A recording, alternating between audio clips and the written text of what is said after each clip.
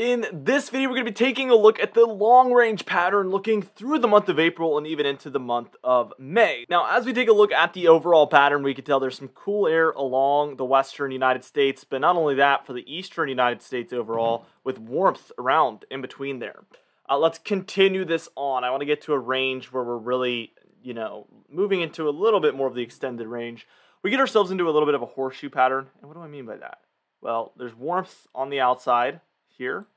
And then there's cold air on the inside of this horseshoe here, as you can see. And this is what we're dealing with. Warm, coast to coast to coast, Gulf Coast, East Coast, West Coast, all warm. Uh, and then cold there in between. This is going to push eastward, as you can see, over time. Uh, so what happens is we see this cold really move its way into the eastern United States. The warmth moves its way mostly into the western United States. Uh, but we see this little bit of a trough trying to move in here and that is going to eventually move its way back into uh, the everything's just going to move eastward. This is typically what we see. This isn't that unusual, but that is what we're going to be dealing with. Everything will move its way back eastward over time. Let's just inch this along. This is what we're like in between. We have this trough here and a trough here with the warmth in between. Okay, and this is going to make its way eastward here. Uh, this trough is going to try to become the primary one, and it's going to dig down into the western United States, which gives the really gives the warmth nowhere else to go other than the eastern United States. So that's really what we're going to be watching for uh, throughout this pattern uh, is just everything progressing from west to east. So you see, it just takes a long time, but it gets there. This is Wednesday, April 13th. So this is the mid portion of this month here in the month of April. So we see for the western United States, very cold now. This has really anchored itself in here. Uh, and we see the warmth has really anchored its way into this region for the middle portion of the month of April. Um, and, and as we continue this on, we can see that the cold does spread to where it's taking up a majority of the country, but still the eastern third or so, maybe the eastern fourth of the country, is dealing with some warm, warm air overall, uh, really building its way in here, as you can see as we move further in, what this model does is uh, eventually, as we reach later in the month, it centers the cold over the east and it tries to bring the warmth back to the west. Obviously, as we know, the further into this we get, the lower the confidence is. Uh, however, this does seem to be a, model that feels fairly confident in what it's pro- projecting. That's something that you know you have to really have an eye for it, but there's just some looks that look realistic, and then there's some looks where you're like, okay, this model's really confused right now. And actually, I want to pull up the European weeklies model here because we're going to really break down the longer range pattern, even the longer range pattern. So here's week one. This is going to be um, this week. Um, and we can see cold air around here for a lot of the United States, actually. And as we move seven days on, this is where we get by the time we're reaching April 7th through 14th. A lot of cold for the west, and a lot of cold here for the east as well uh, and then warmth for the central United States according to this model. Uh, that warmth does center itself over the eastern United States here for about a week, 13th to 20th, and we see the cold here, but we're going to have to see how things really progress. So let's continue on with this. See if it does the same thing as the European ensemble model. Well, this one averages out, but we do see the cold gets centered over here by the time we're reaching into May here as well. But it keeps that warmth over the central United States. That's something we're going to have to watch. Uh, also down here for the southeast, there's a bit of a southeast ridge, but it's quite minor. Uh, but really, the jet stream would look like this. Um, very progressive, very flat, but cold sticks up here in the northern United States. And really, the warmth is able to really make its way into uh, the southern United States to a certain extent. This looks to be the pattern here that I'm seeing from this European weeklies model which this European weeklies model is just a very long range version of the European ensemble model. Clearly, we get, you know, very far into this. We can get all the way to the middle portion of May. So we're approaching the summertime, which is June 1st, is meteorological summer. Um, so that is where we're at on this model. Uh, now, I also want to take a look at, let's see, we'll take a look at the CFS extended model. Uh, this one tends to oftentimes um, be a little bit more opinionated. And what I mean by that is that it will actually, it doesn't average out as much. Uh, this one will really show you what it thinks. Um, I know I'm talking about a computer model here. It sounds like I'm talking about a person, but they just work differently, is my point. Uh, we see lots of cold air making their its its way there into the northwest, but also into the east here for April 4th through 11th. Um, and as we move to the week afterwards, we could see a lot of this warmth builds in to this region, and then most of the cold here is in the west. Uh, so again, cold, warmth mostly over here. Let's move on another week from there. And this week looks a little bit warmer for the southeast here, the, the April 18th through 25th time frame. So we are seeing some agreement from the model here where this region does stay warmer. Uh, and then the northern United States overall is cooler, except we have some of it making its way into the southwest as well. Uh, but this looks a lot like the European uh, weekly model. And you want to see that agreement. Obviously, that's a really good sign that these models are onto something when they do actually agree with what they're calling for. You don't want to see two models uh, in the long range just calling for complete opposite things because that would mean that our indications of this is, is based on something weak. Um, but what it, it's actually surprising here what ends up happening. We see really cold air uh, build its way into the eastern United States rapidly there to, to end April. This is April 24th through May 1st uh, here, as you can see on the top right corner of your screen. And a lot of the cold builds into this region. The majority of it's built into there. We do have some neutral temperatures out west by this point. Uh, let's move on towards April, May 1st through May 8th, and we can see a little bit of cooler air here for the southeast and also for the west. But look, just like the European model, we have uh, primarily warmth building into this kind of west central United States region uh, with cold on both coasts. So that seems to be what both models agree on at this point.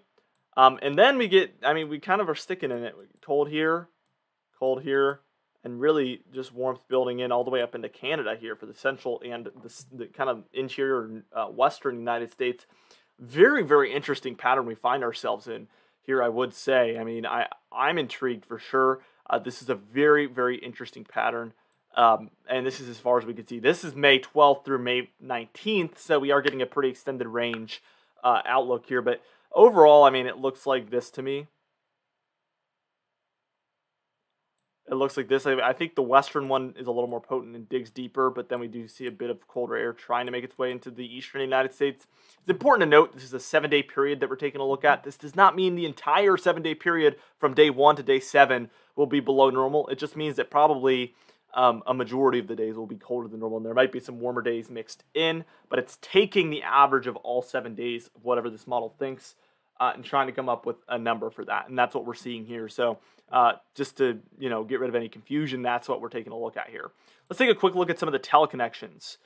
Um, and first off, we're taking a look at our Arctic oscillation. In the positive phase, warmer air dominates the United States. In the negative phase, colder air really makes its way into the United States. Uh, and I'm going to try to make as flat of a line. Ooh, that was really good. Okay, so that's the neutral line. As you can see, we're in the dominant colder phase right now all the way through today, actually. So April 4th. Um, we're right about neutral now. Then we're going to move into this positive phase. The mean average is the one I'm going to go with, the green line. And we stay in this positive phase all the way through the middle portion of the month, from positive to uh, neutral. So somewhere between zero and then one here on the scale, which is going to be slightly positive. Uh, so warmer air is really going to have an easier time developing during this time period. We kind of see that actually on the temperature pattern that we're going to be in. Uh, and then we really go through this cold phase for quite a while, all the way to the beginning of May. So from four, basically the whole second half of April here, according to the European Weeklies model, is going to have a negative AO, which again allows that Arctic air to make its way into the United States. That doesn't mean everywhere is going to be cold, but there's going to be cold around for somebody, um, and that makes the chances of it being colder where you're at higher because there will be cold air somewhere. Uh, and then it's really neutral here at the end. So, so for the first half of May, it's very, very neutral. That could just be the model really having low confidence in that time frame. It's hard to say for certain. Now, our next teleconnection is the NAO. And this one really just follows suit. I mean, really, it does about like this. Goes back neutral towards the end. Again, here's the neutral line. Um, and again, it's more like cold in the east with this one and then warm in the east here. So this is a much more east-based teleconnection. Uh, but warmth will be possible in the east uh, during that time frame here. I'll underline it. So from now till about uh, late week, and then we go back into this negative phase. That's kind of why I'm expecting colder than normal conditions this upcoming weekend. uh, I think that's that's a strong indicator. Uh, this and then the AO are also in great agreement that that is going to be um, really just not a not a warm time period to say the least. Uh, and then our PNA. This one's an interesting one. Uh, let me draw the neutral line again. So this one, it doesn't tell you if there's going to be cold air or warm air in the United States. What it does tell you is, will the warm be in the west or be in the east? Okay, for instance, in the positive phase, the warmth will be over the west.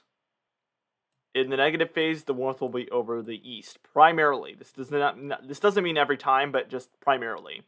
So we can see that um, for now, it looks like it's going to be in the east for a couple of days here. As you can see, it almost does a, like a W shape there. Um, but as we head towards the midweek to late week, this one lags behind a little bit as well, by the way. So you have to give it some time. But we've we've popped very positive here for the weekend. Okay, so the results of that positive pop is going to last a couple of days after the positive pop. So it'll probably last all the way to here, to be honest.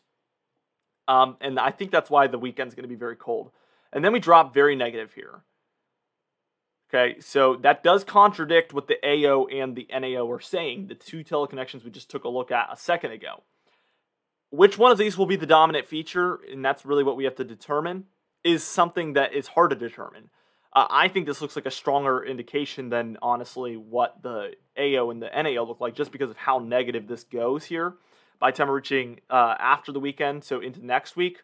I think warmer conditions in the east could be a big possibility uh, after this weekend's cooldown. So Monday, Tuesday, Wednesday, Thursday, we could be looking at warmer conditions overall uh, in the eastern United States. And then we go towards neutral, and it stays neutral here all the way through the middle portion of May. It won't be that way most likely, but this model just gets averaged out because this is an ensemble model. So we're taking a look at 50 different opinions, and in the long range, they really average out because they start to show a lot of different stuff because confidence is lower.